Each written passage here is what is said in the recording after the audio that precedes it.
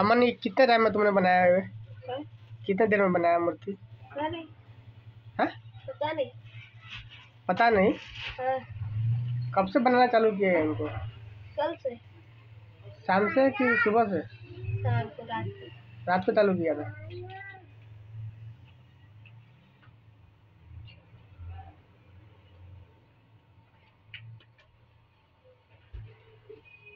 Thank you.